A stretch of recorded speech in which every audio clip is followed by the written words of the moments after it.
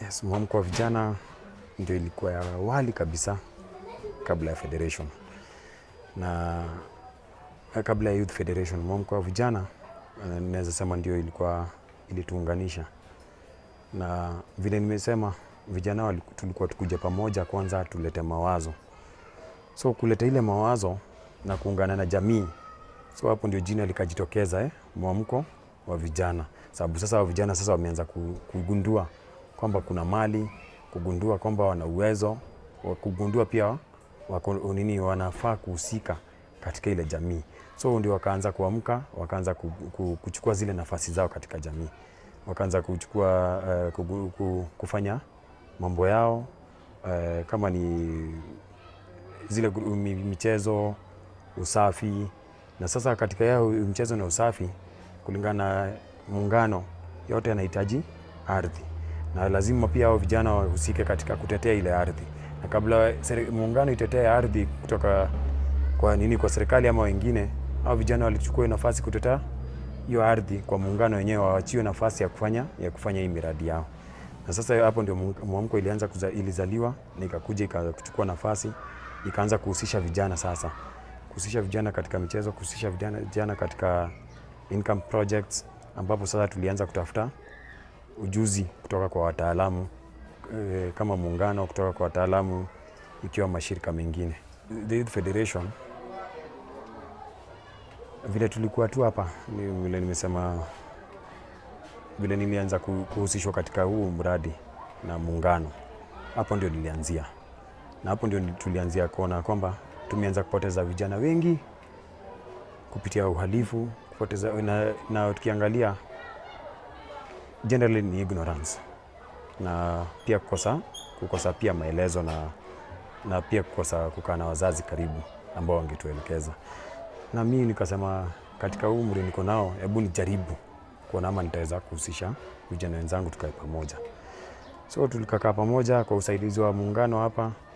Hapo awali eh, miaka ya kitambo tukaanza kujihusisha na michezo eh, mipira, ndio tukakuja tukakaa pamoja tukaona vijana eh, tunapoteza muda mwingi tukifanya ujinga, tunapoteza muda mwingi tukijihusisha na mambo ambayo hayatuletei faida. So tukakaa pamoja tukajiuliza na sisi ni nini tunaweza fanya kwa pamoja itusaidie, ambapo sisi wenyewe kama vijana ndio tunajielewa zaidi kuliko wale wazee wanatuelewa. Wale wametupatia fursa ya kukaa pamoja, lakini sio wenyewe tuone nini ambayo iko ndani yetu tunaweza jitokeza. So pale kukajitokeza hapa hapa Kamimoto kajitokeza kikundi moja mbili tatu ya vijana wakaanza kufanya miradi tofauti tofauti, na saa kufanya miradi tofauti tofauti eh, kupitia usaidizi wa muungano na eh, shi- mashirika mengine tukasema kama eh, tunaweza fanya kuweza kutembelea pia watu ama kuna vikundi zingine zinafanya vitu kama hizi, wakatueleza yes, kunazo na pia mnaweza tembea, ambapo mtaona wengine wanafanya mambo ya ajabu, mtaona wengine vijana ambao wamejiinua, vijana ambao wame, wamejiendeleza. Sasa hapo ndio tukakuja tuka, uh, tukasema wacha tukae chini tuone nini tunaweza jiinua, na tukaanza kuona kuna matunda, kuna mazao, tuna, ma, tuna tuko na skills hapa, tuko na resources hapa, tuko na wacha tuanze kujiinua. So katika hiyo kujiinua tukarealize kuna vijana wengine pia wanafanya vitu zingine sehemu tofauti tofauti, ambapo vile vile muungano ili realize kwamba kijiji si moja, kuna vijiji vingine vingi.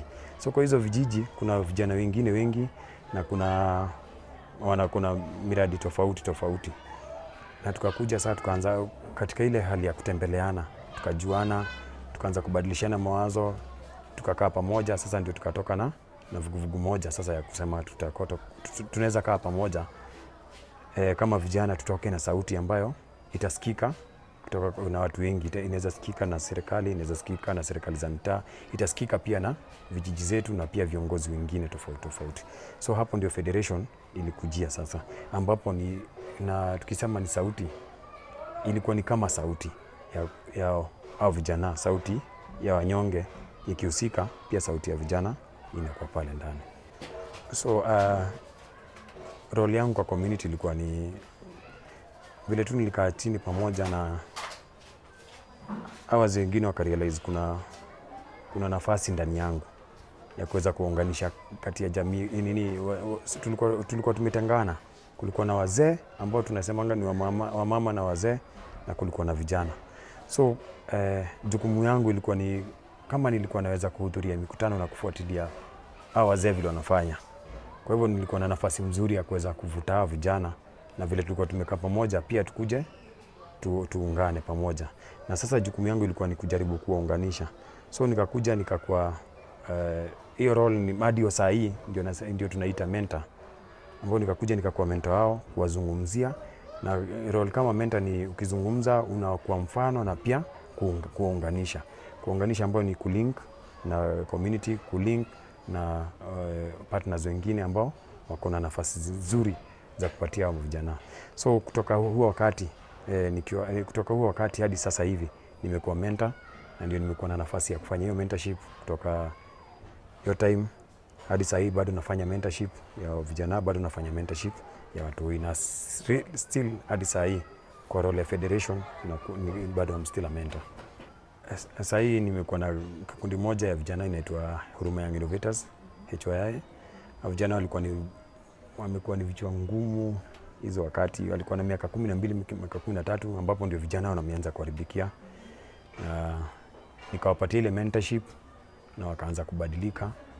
Na walikuwa wamekataliwa hapa pia. Kwa society, walikuwa kuna chochoro mingi pita sababu yao vijana, so ilikuwa ni ile kazi tu nilifanya tu ya kuwashikanisha yao na community, na wakaweza kubalika na wakaanza kufanya miradi zao hapa, na hiyo Huruma Young Innovators imekuwa na vijana karibu kumi na wawili na wamekuwa wakifanya mambo poa, wamefanya mambo na poultry na sahii wako huku mitaani nini huku Kamoto ndio wamekuwa vile pia wame- wamehusika katika ujenzi ya site 4 wamesaidia pia wazee kufanya ujenzi ya site 4 na wamekuwa so much friendly than hapo awali.